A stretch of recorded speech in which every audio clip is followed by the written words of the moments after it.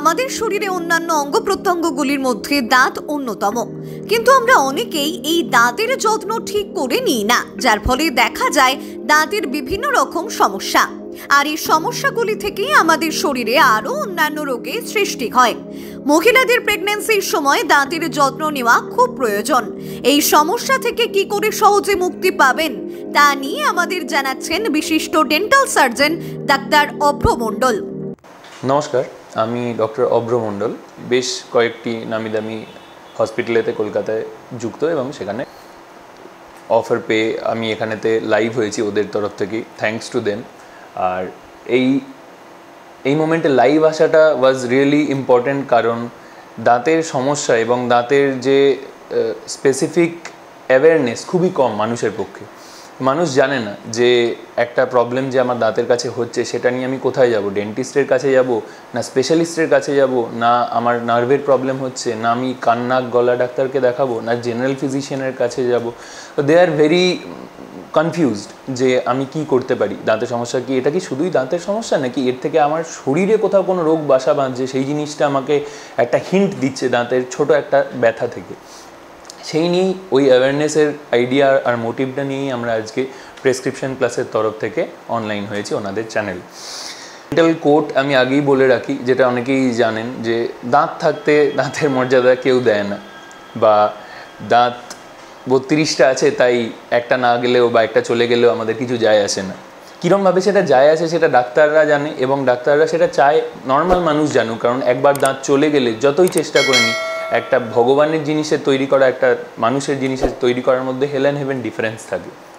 We can obviously mend মানে আমরা তৈরি করতে পারি, কিন্তু ভগবানের প্রদত্ত দেয়া জিনিস আমরা কিন্তু আবার তৈরি করে দিতে পারি না রিপেয়ার করতে পারি রিএস্টাবলিশ করতে পারি না। তো কামিং টু দ্যাট পয়েন্ট যে আজকে যদি আমার কথার খাতিরে বলছি যে হঠাৎ করে কানের নিচে পিছনের দিকে একটা হালকা ব্যথা হচ্ছে, সেই ব্যথাটা হওয়া মানেই কিন্তু ইউ আর অলরেডি লেট যেটা লোকে ভাবে যে ব্যথা না হলে আমি কেন যাব ডাক্তারের কাছে? সেটা প্রত্যেকটা স্পেশালিটির জন্য স্বাভাবিক যে আমি যখন ব্যথা হচ্ছে না তখন যাচ্ছি না। কিন্তু আজকে যদি আমি সুগারটা চেক করিয়ে নিই, যদি ব্যথা না হয়, তাহলে আমার সুগারের ওষুধ যদি খেতে হয়, তাহলে ডাক্তারের কাছে আমাকে যেতে হবে না। সেই মেনটেনেন্স ডোজের জন্য একটা ডাক্তারের কাছে প্রত্যেক ছ মাস যাওয়াটা প্রয়োজন। এটা জেনারেল ফিজিশিয়ানের জন্য যেরকম লাগোয়া, দাঁতের ডাক্তারের জন্য সেমভাবেই লাগোয়া। কারণ প্রত্যেকটা দাঁত আপনার এক একটা অর্গ্যান প্রত্যেকটা বত্রিশটা দাঁত বা আঠাশটা দাঁত যে কটা আছে আপনার, সেই প্রত্যেকটা দাঁত একবার যদি চলে যায়, দ্বিতীয়বার কিন্তু দাঁতটা তৈরি হয় না। আপনার পারমানেন্ট দাঁত একবারই। দুধের দাঁত একবার আসে, তারপর পারমানেন্ট দাঁত। সেই নিয়েই সারা জীবন চালানো। এবং দাঁত থাকলে আপনার ডাইজেশন ভালো হয়। কীরমভাবে? আপনি প্রথম ডাইজেশনের ফার্স্ট পার্ট হচ্ছে মুখে খাবারটা নেওয়া এবং চেবানো which is the basic part প্রথম আমি যদি ওটাকে ভালো করে না চেবাই, তাহলে কিন্তু আমার ডাইজেশন হবে না এবং তার থেকে কিন্তু আমার শরীর খারাপের দিকে যেতে পারে, অনেক ম্যালনিউট্রিশনের দিকেও যেতে পারে। This the primary thing second হয়ে গেল, এই যে দাঁতের ব্যথাটার কথা বলছিলাম, যে আমার যে হালকা একটুখানি দাঁতে ব্যথা করছে, তার মানে it has already been there for some days মানে বেশ কয়েকদিন ধরেই আমি দেখছি দাঁতটা কালো হয়ে আছে, কিন্তু আমি গা করছি না, কারণ আমার ব্যথা তো হয়নি, তাহলে আর আমি কেন এখন ডাক্তারবাবুর কাছে যাব? আমার কিছু খরচা হয়ে যাবে। এখন দরকার নেই, যখন ব্যথা হবে তখন দেখা যাবে। এটা আমাদের সবারই ধারণা। কিন্তু আজকে যদি আমি ওই কালো দাগটাকে নিয়ে যেতাম, হতে পারে কালো দাগটা কোনো শুধু দাগ, পোকা নয়। তাহলে দাগটা সরিয়ে দেওয়ার জন্য আজকে মাড়িটা ফুলবেন। আর যদি আমি দেখি যে এটা স্কেলিং বলে একটা প্রসিডিওর হয়, সেটা দিয়ে আমরা দাগটা সরিয়ে দিতে পারি। যদি সেই দাগটা দেখি যে একটা পোকা রয়েছে, তাহলে একটা ছোট্ট এক্স রে করে আমরা ওর এক্সটেন্টটা দেখতে পাবো বা কতটা দাঁতটাকে খেয়ে নিয়েছে পোকাটা, সেটা দেখতে পারব। যদি সেটা কমের মধ্যে থাকে, তাহলে ওপর থেকে ওটাকে সরিয়ে দিয়ে না অবশ করে ওপর থেকেই আমরা ফিলিং করে দিতে পারব বা দাঁতের কালারের একটা জিনিস দিয়ে ওটাকে ভর্তি করে দিতে পারব, তাহলে দাঁতটা বেঁচে যাবে। আর ক্ষয়ক্ষতি এরপর হবে না। এবার যদি আমি দেখি যে যেটা নর্মাল নাইনটি পার্সেন্ট হাউস হোল্ডের ধারণা যে ব্যথা করছে, এবার আমি কোথায় যাব? আমি দাঁতের ডাক্তারের কাছে গেলাম, উনি একটা এক্স রে করলেন। এক্স রে করে বললেন, মা বা বাবা, আপনার অনেকটা দাঁত ক্ষয়ক্ষতি হয়ে গেছে। আপনার এই দাঁতটাকে যদি আপনি বাঁচাতে চান, তাহলে আপনাকে রুট ক্যানাল ট্রিটমেন্ট করতে হবে আরসিটি রুট ক্যানাল ট্রিটমেন্টে কি হয়? দাঁতের মধ্যে দুটো রাস্তা আছে বা একটা রাস্তা আছে। দাঁত স্পেসিফিক সেটা হয়, যদি ওপরের বা নিচের দাঁত হয় ডিপেন্ড করে কটা রাস্তা তার নিচে গোড়াতে যাচ্ছে, সেই হিসেবে তার ভেতরে এক একটা রাস্তা থাকে। তার মধ্যে থাকে নার্ভ তো এই দাঁতের নার্ভটা হাড় দিয়েই আসে, দিয়ে দাঁতের কাছে এসে শেষ হয়ে যায় টার্মিনাল ব্রাঞ্চটা বা এন্ড হয়ে যায়। এই নার্ভটা তখনই এফেক্টেড হয় যখন ওপর থেকে পোকাটা খেতে খেতে ওপরের লেয়ার এনামেল সাদা রঙের শক্ত, সেইটাকে খেয়ে নেয়। তারপর ডেন্টিনে আসে, যেটা হলদে লেয়ার যেটা আমাদের ভেতরে ডেন্টিনাল ফ্লুইড জমা করে রাখে। সেই জিনিসটা হলে কিন্তু তখন সেকেন্ড ফেজ অফ ব্যথা হয়, যেটা শিরশিরানি আমরা বলি। যে নাতা প্রথমে কালো ছিল, তারপর সেকেন্ড ফেজ হলো শিরশিরানি শুরু হলো। সেই শিশিরানিটাতেও আমি কিছু করলাম না, যে আজকে হচ্ছে ওই ওপর থেকে একটু মাজন লাগিয়ে দে, একটু ক্লোভ অয়েল লাগিয়ে দে বা একটুখানি আমাকে লবঙ্গ দে, সেটাকে চিবিয়ে কোনো মতে চলে যাচ্ছে, থাক। সেটা সেকেন্ড ফেজ মানে ওপরের লেয়ারের ধ্বংস হয়ে যাওয়ার পর দ্বিতীয় লেয়ার ধ্বংস হচ্ছে। থার্ড লেয়ার হয়ে গেল আমাদের নার্ভটা যখন আমাদের নার্ভের কাছে চলে যায়, তখন নার্ভটা ইরিটেট হয়ে ওখানে একটা ইনফেকশন তৈরি করে, যে ব্যাকটেরিয়াগুলো ওই দাঁতটাকে খাচ্ছিল। সেই ইনফেকশনটা তখন নার্ভটাকে ব্যথা দিলে, তখন সেই নার্ভটা চারিদিকে যেখানে নার্ভটা ছড়িয়ে আছে, সেটা কান হতে পারে, গলার দিকে হতে পারে, সে একটা পেন দেয় রেফার্ড পেন হয় সেটা। এই ব্যথাটাকে তখন আমরা সহ্য না করতে পেরে আমার মাথা ধরে যাচ্ছে, আমার কানে লাগছে, আমি হাঁ করতে পারছি না, চেবাতে পারছি না, আমার খাওয়া বন্ধ হয়ে গেছে, আমি বাঁ দিক দিয়ে চেবাচ্ছি, ডান দিকে ব্যথা হচ্ছে বলে। এই সব সমস্যা নিয়ে আমরা ডেন্টিস্টের কাছে ল্যান্ড আপ করি। প্রবলেমটা হচ্ছে, কিছুটা সিস্টেমের দোষ ইন্ডিয়াতে হেলথ কেয়ার সিস্টেমটা পুরোপুরি মানুষের ওপর। মানুষ যদি চায়, তখন সে দেখাতে যায়। রেগুলার চেক আপে অনলি শিক্ষিত লোক এবং যারা well off with their finances তারা যায়। বিদেশেতে অনেক জায়গায় এরকম সিস্টেম আছে এনএইচএস তারা ন্যাশনাল হেলথ স্কিমের থ্রু দিয়ে প্রত্যেক ছ মাস, প্রত্যেক চার মাসে একটা ডেন্টিস্ট একটা জেনারেল ফিজিশিয়ান একটা সার্জেন একটা নিউরোলজিস্টকে টাইম টু টাইম দেখায়। তাতে তাদের ছোট অবস্থায় যা যা প্রবলেম থাকে সেগুলো কমে যায়। কিন্তু সেটা গভর্নমেন্ট ওরিয়েন্টেড এখানে আমাদের গভর্নমেন্ট সেট আছে। সেখানে ফ্রিতে আমরা চিকিৎসা পাই। আজকে নীলরতন সরকার এসএসকেএম পিজি হাসপাতাল বা একটা ডায়মন্ড হারবারের মতো স্টেট জেনারেল হাসপাতালেও সব জায়গায় একটা একটা করে গভর্নমেন্ট সেট দেওয়া আছে। সেখানেও আমরা চাইলে কিন্তু যদি আমাদের ইচ্ছা থাকে প্রাইভেট এর মতোই চিকিৎসা পেতে পারি। আজকে এক সময় আমাদের পরিকাঠামো ছিল না। এখন অনেক জায়গায় আমাদের গভর্নমেন্ট পরিকাঠামো দিয়েছে এবং অনেক ডাক্তার তাদেরকে দেওয়া হয়েছে। সেইখানেতে তারা অ্যাভেলেবেল তারা প্রাইমারি কেয়ারটা দিচ্ছে। স্পেশালাইজড কেয়ার যদি আমার ফাইন্যান্সেস ওয়েল অফ থাকে, আমার কাছে টাকা পয়সা নিয়ে চিন্তা না থাকে, আমি নিজেকে ভালো রাখতে চাই এবং এটাও সত্যি কথা, যখন আমি হেলথে খরচা করব, তখন সেই খরচাটা কিন্তু নিজের শরীরে যাচ্ছে। সেটা ভেবে সবসময় খরচা করবেন। র্যাদার দ্যান যে এটা এত দাম, এটা করে কি লাভ হবে, এটা কদিন টিকবে, এগুলো নিয়ে পরে ভেবে প্রথমে ভাববেন যে এই টাকাটা আমি নিজেকে দিচ্ছি। আমার ওয়াইফকেও না, আমার মা বাবাকেও না ফার্স্ট রিলেটিভদেরও না, নিজেকে। তো নিজের ওপর যখন খরচা করবেন, তখন দেখবেন it will give you a long term return mentally as well as physically তো যখনই আমি ডেন্টালের কাজ করব, কিছুই খরচা হবে। কারণ আমরা এটা জানি যে dental also comes under cosmetic অনেকে দাঁতের হোয়াইটনিং করায়, এটাও একটা চিকিৎসা। অনেকে করায় দাঁতের ফলস দাঁত বাঁধানো। অনেকে ভাবে, এরকম একটা মিসলিড ইনফরমেশন আছে যে একটা দাঁত নড়ছে, দুটো দাঁত নড়ছে, সবকটা নড়বে, সবকটা ফেলে দেবো, দিয়ে বাঁধাবো। এটা ভুল। আগেকার দিনে একসময় এটা হতো, কিন্তু এখন এটা হয় না। আজকে যদি আমার একটা দাঁত চলে যায়, সেই দাঁতটাকে আবার পার্মানেন্টলি বাঁধানোর মতো অপশন আছে। যদি আপনার শরীর এবং এভরিথিং ডিসাইডেড বিফোর যে এক্স রে করলাম, একটা ব্লাড টেস্ট দেখলাম সব কিছু দেখে আপনার শরীর সায় দিচ্ছে, তবে সেই চিকিৎসাটা করা যেতে পারে। বাট সত্যি কথা বলতে there is an option now যেটা আগে ছিল না। তো ফিক্সড ডেঞ্চারও এখন হয় যে আমাদের ইমপ্ল্যান্টস দেওয়া হয়। ইমপ্ল্যান্টসের ওপর বেস করে আমরা যদি ডেঞ্চার দিই, তাহলে কিন্তু সেই ডেঞ্চারও ফিক্সড ডেঞ্চার হয়। আগে সেটা খোলা পড়া, হাসতে গিয়ে খুলে গেল। সেই জিনিসগুলো অতীত হয়েছে, এখন অনেক অপশানস আছে। তাই go to your nearest dentist R if you want to come to me I sit on many places অনেক জায়গায় আমি আছি অ্যাটাচ বারাসাতের দিকে রোমাল ইন্ডিয়া হসপিটালে বা বলুন টেকনো ইন্ডিয়া দামা আছে ডিসান হসপিটালস আছে, এখানে Apollo clinic Sarat Bose road আছে। অনেক জায়গায় আমি যাচ্ছি, ওখানে আপনি একটা কনসালটেশন করান। ফার্স্ট থিং হচ্ছে যে আপনার কেটার্ড কি চিকিৎসা লাগবে? ওনাকে দিচ্ছি মানে আপনার পাশের বাড়ি গিয়ে একটা ফিলিং করে এসছে মানে আপনারও ফিলিংটা লাগবে, তার কোনো মানে নেই। আপনার হয়তো দাঁতটা তুলতে হতে পারে, দিয়ে বাঁধাতে হতে পারে। আপনার হতে পারে, কিছুই লাগল না। জাস্ট এক্সট্রা এক্স রে করলাম, একটা ওষুধ দিলাম, আপনি ঠিক থাকলেন। তো চিকিৎসা ইজ অলওয়েজ বা health care is always catered আপনার কি লাগবে? আপনার হাজব্যান্ডের সেটা নাই লাগতে পারে বা আপনার মা বাবার সেটা না লাগতে পারে। তো এই হিসেবে ডেন্টাল সার্জারি আগেকার টাইম থেকে এখন থেকে অনেকটা এগিয়ে এসছে।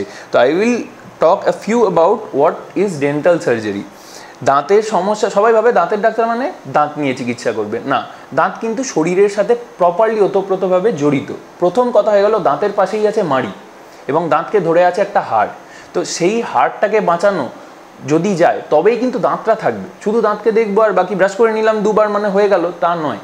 ব্রাশ করব, দুবার করে একটা ভদ্রস্থ, ভালো টুথপেস্ট ডাক্তারের সাথে পরামর্শ করে নেব এবং সেটা নিয়ে ক্লিয়ার রাখব জিভ ছুলবো জিভেরও কেয়ার করব, সঙ্গে মাড়িকে দেখব যে মাড়ি সরে যাচ্ছে কি না এই সব জিনিসগুলো যদি আমরা কেয়ার করি তারপর একটা প্রপার ওরাল হেলথ হবে। ওরাল হেলথ তৈরি করতে টাইম লাগে। একদিনে জিনিসটা হয় না। এবং যে কথাটা আমি বলছিলাম যে, কী কী জিনিসের সাথে এটা রিলেটেড ধরে নিন কথার খাতিরে একটা ব্যাকটেরিয়া আছে যেটা মুখের মধ্যে থাকে। সে থাকে মুখের মধ্যে, কোনো প্রবলেম করে না। কিন্তু আমি দাঁত পরিষ্কার করি না। তাড়াহুড়ো করে কোনো মতে একবার কর্পোরেটে চাকরি করি, রাত্রিবেলায় শুতে এসে একবার ব্রাশটা কোনো মতে তিরিশ সেকেন্ড করে নিয়ে রেখে দিলাম। সেই মুখ নিয়ে আমি আছি বছরের পর বছর। আমি দেখাচ্ছি না কাউকে কারণ আমার কোনো ব্যথা নেই। তাহলে আমি কেন ডাক্তার দেখাবো? কিন্তু ওয়ান ফাইন ডে আপনার ব্লিডিং গাম শুরু হলো। আপনি দেখলেন, আপনি একটু ব্রাশ করতে গেলেন এমা মাড়ি থেকে একটু রক্ত বেরোচ্ছে। এই যে রক্তটা বেরোলো, রক্ত কিন্তু আমাদের শরীরের ভেতর যায়। এই ইন্টারমিক্সিং অফ ব্যাকটেরিয়া মুখ থেকে রক্তের মধ্যে গিয়ে সেটা যদি শরীরে যায় হার্টে গিয়ে সে কিন্তু বাসা বাঁধতে পারে। এরকম স্পেসিফিক ব্যাকটেরিয়া আছে that will effect your heart health তো cardiology is always related with us in specific SAB বলে এক রকমের রোগ হয়, সেটাতে ও রিলেটেড যদি আমি ওরাল হেলথ ভালো করে না রাখি, তাহলে কিন্তু আমার হার্টের কন্ডিশন আসতে পারে। For more information you should come to us and you will get a catered health আর আপনার কি অবস্থা, আপনার কি কি লাগবে এবং কি কি জিনিস জানা প্রয়োজন। দ্বিতীয় হয়ে গেল নেফ্রো কেয়ারের আগেও অনেক সময় ট্রান্সপ্লান্ট করার আগে আমরা দেখেছি গভর্নমেন্ট হসপিটালে রেফারেল দেওয়া হতো। যেরকম ধরুন, একটা কিডনি ট্রান্সপ্লান্ট হচ্ছে। বা একটা ইমিউনো কম্প্রোমাইজ পেশেন্ট আছে মানে যার ইমিউনিটি শরীরের কম, তো তাদের ক্ষেত্রে যখন মুখের ওরাল হেলথ দেখতাম, তখন আমাদেরকে দেখতে হতো যে কোনো পাথর জমে আছে কিনা, কোনো খাবার দাবার জমে আছে কিনা, দাঁত পরিষ্কার আছে কিনা। মাড়ি কি আদৌ ভালো আছে? শুধু দাঁতের ব্যাপার না, মাড়ি ভালো আছে কি? কারণ দাঁতে যত নোংরা হবে, মাড়ি ছেড়ে দেবে। মাড়ি ইজ দি সফট টিস্যু নরম জিনিস। দাঁত কিন্তু শক্ত জিনিস।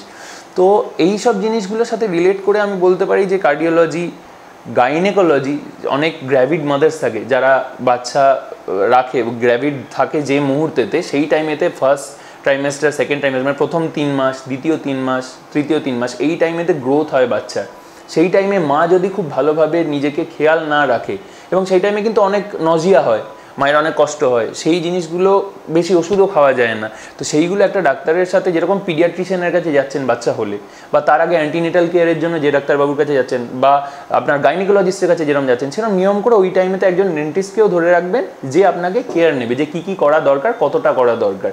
তো তবে কি আপনার বাচ্চার গ্রোথ অ্যান্ড ডেভেলপমেন্টটাও কিন্তু তার সাথে রিলেটেড হয়ে থাকবে। এছাড়া কামিং টু ডেন্টাল সার্জারি কী কী বেসিক চিকিৎসা আমরা দিই। আগেকার দিনে তোলা আর বাঁধানো, ব্যাস। এটুকুই জানতো লোকে যে দাঁত মানে তুলবো আর বাঁধাবো, এর বেশি কিছু হয় না। এখন কিন্তু অনেক রকম চিকিৎসা এসে গেছে যে স্পেসিফিক বলি আমাদের অনেক কটা ব্রাঞ্চ আছে। আফটার ডেন্টাল সার্জারি যেরকম আপনি জেনারেল ফিজিশিয়ান দেখাতে গেলে এমবিবিএস একজন থাকে, তারপর কখনো নিউরোর প্রবলেমে নিউরোলজিস্ট খোঁজেন। সার্জারি করতে গেলে জেনারেল সার্জন খোঁজেন। তারা মাস্টার্স করে সেই নিয়ে, বা তারা আরও সুপার স্পেশালিটি করে সেই নিয়ে। তো এই জ্ঞানটা আমাদের নাই যে ডেন্টালে কাকে দেখাতে যাব কোন প্রবলেমের জন্য। তাই অ্যাওয়ারনেসটা খুব প্রয়োজন। আজকে আমার যদি একটা ডেন্টাল সার্জারি করার পর কী কী ব্রাঞ্চেস আছে? ওরাল সার্জারি হচ্ছে ধরুন হেডনেক ক্যান্সারের যে কেসগুলো আছে, সেই কেসগুলো কিছু ফ্র্যাকচার হলো। হঠাৎ বাইকে যাচ্ছি স্পিডে হঠাৎ মুখেতে লাগল, মুখের হাড় ভেঙে গেল। আমি প্লাস্টিক সার্জনের কাছে যাব জেনারেল সার্জনের কাছে যাব ডেন্টাল সার্জনের কাছে যাব, না ম্যাক্সিলোফেশিয়াল সার্জনের কাছে যাব, নাকি ইএনটির কাছে যাব? It is very confusing for them তো এখন it is a multidisciplinary approach অনেক সব ডাক্তার মিলেই থাকে আপনার বেস্ট কেয়ারটা দেওয়ার জন্য। তো যারা সার্জারি নিয়ে রিলেটেড থাকে, ওপরের অংশের হেডনেক রিজিয়নে তারা সরি তারা কিন্তু ম্যাক্সিলোফেশিয়াল সার্জনস হয়। এছাড়া হয়ে গেল এন্ডোডন্টিস্ট রুট ক্যানাল ট্রিটমেন্ট করার জন্য স্পেশালিস্ট ডাক্তার আসে তাদেরকে এন্ডোডন্টিস্ট বলে। পিরিয়ডন্টিস্ট হচ্ছেন বাচ্চাদের দাঁতের সমস্যার জন্য আলাদা করে পিরিয়ডন্টিস্ট থাকে। ওনারা স্পেসিফিক বাচ্চাদেরকে দেখেন এবং আলাদা আলাদা অ্যাপ্লায়েন্স দেন। অর্থোডন্টিস্টরা ব্রেসেস করেন। দাঁতে ক্লিপ লাগাই যেটা আমরা বাংলায় বলি, সেই জিনিসটা কিন্তু অর্থোডন্টিস্টদের স্পেশালিটি ওরা জানে কীরমভাবে কত দিন ধরে কতটা খরচা হিসেবে কার কী লাগবে। এছাড়া হয়ে গেল আমাদের আছে ওরাল মেডিসিন ওরাল মেডিসিন হয়ে গেল, যেরকম জেনারেল মেডিসিনের কাছে আপনারা যান, ওরা কোনো একটা সিচুয়েশন আপনার শরীরে কী চলছে, ওরা ডায়াগনোজ করে এবং তারপর সেই অনুযায়ী ওষুধ দেয়। সেরকম ওরাল মেডিসিনের ক্ষেত্রে অনেক জিনিস হয়, সাদা একটা প্যাচ বা সাদা একটা কিছু ইয়ে জ্বালা করছে, ঝাল লাগছে বেশি, এই সব জিনিসগুলো যখন থাকে তখন একজন ওরাল মেডিসিন স্পেশালিস্টের কাছে গেলে সেই কিন্তু বেশ কিছু টেস্ট করবে, সে ডায়াগনোসিস করবে এবং তারপর আপনাকে বেশ কিছু ওষুধ দিয়ে সারানোর চেষ্টা করবে সে। These are oral medicine guys oral pathology হচ্ছে বায়োপসি নেওয়ার পর যেরকম জেনারেল প্যাথোলজিস্টরা বায়োপসি রিপোর্ট দেয়, দেখেন এবং সেই জিনিসগুলো কিন্তু ওরাল প্যাথোলজিস্টরা করে মুখের বা মুখগহ্বরের মধ্যে কোনো সিচুয়েশনের জন্য। যেরকম ক্যান্সার হলে বায়োপসি করতে লাগে, তো বায়োপসির রেজাল্ট কিন্তু ওরা দেয়। বাকি রইলেন আমাদের প্রস্তডন্টিস্ট এই যে খালি মুখ যখন হয়ে যায়, সব দাঁত পড়ে যায় বয়সকালে, যখন দাঁত বাঁধাতে হয়, তখন কাদের হেল্প লাগে? বা একটা দাঁতও চলে গেল, যখন বানাচ্ছি, তখন তাদের হেল্প লাগে? সেটা হচ্ছে প্রস্তডন্টিস্ট কারণ তারা প্রস্থেটিক্স নিয়ে রিলেটেড ক্রাউন ব্রিজ ক্রাউন বলতে একটা দাঁতের ওপরে ফলস দাঁত দেওয়াকে ক্রাউন বলে। বাকি দু তিনটের ওপর একসাথে জয়েন্ট করে যদি কোনো জিনিস দিই, সেই জিনিসটাকে ব্রিজ বলা হয়। তো এই সব জিনিসগুলো ডিল করে প্রস্তডন্টিক্স তো মাল্টিপল ডিপার্টমেন্টস আছে। We have much of knowledge আপনি যে কোনো ডেন্টিস্টের কাছে গেলে সেও এগুলো বলতে পারবে। But be in touch with the dentist maybe আপনার পাড়ার একজন ডেন্টিস্ট হতে পারে। মেবি সেটা আপনি আমার কাছে এসে কিছুটা সময় দিয়ে বাকিটা জানলেন, সেটা হতে পারে। কিন্তু হ্যাঁ আমি আবার বলব যে ট্রিটমেন্ট মোডালিটিস অনেক এসে গেছে। We have to conclude on that যে, কী কী ট্রিটমেন্ট হতে পারে।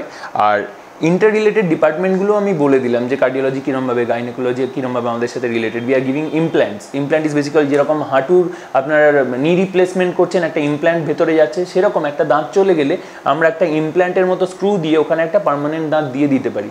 This is also same as doing the orthopaedics implants here but in a very smaller ratio and smaller space অনেক অ্যাডভান্সমেন্টও আসছে, অনেক মেশিনারিজ আসছে। যেরকম আপনারা ল্যাপ্রোস্কোপি করছেন, যেমন মিনিমাম হোল সার্জারিজ করছেন, সেরকম অনেক মেশিনারিজও আসছে। তো সেটা নিয়ে আপডেটেড থাকতে গেলে go to a well set up good hospital you will get the ideas যে কী কী মোডালিটিস আছে। Just to conclude thanks again to prescription plus আমি এই কথা দিয়েই তাহলে শেষ করব যে দাঁত থাকতে দাঁতের মর্যাদা দেওয়াটা প্রয়োজনীয়, কারণ একবার চলে গেলে তারপর কিন্তু কাঁদলেও সেটা ফিরে আসে না। তাই দাঁত থাকতে দাঁতের মর্যাদা নিন আর এই করেই আমি কনক্লুড করব যে আরও অন্য কোনো ভিডিওতে হয়তো প্রেসক্রিপশন প্লাসে হয়তো অন্য কোথাও, নিশ্চয়ই আর একটা ভিডিওতে আপনাদের সাথে আবার দেখা হবে। ধন্যবাদ। Thank you